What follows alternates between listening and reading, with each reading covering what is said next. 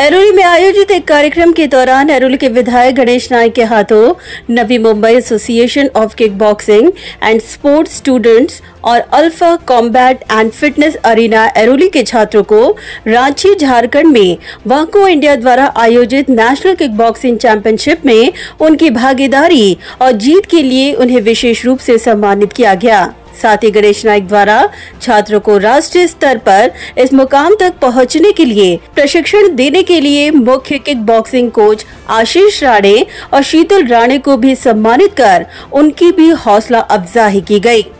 Bureau report, Naveen B network.